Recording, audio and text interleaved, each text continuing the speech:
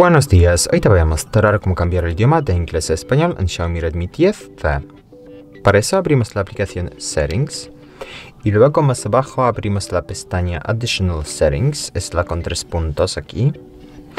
Y luego pulsamos la segunda opción, Languages and Input, y pulsamos la primera opción, Languages.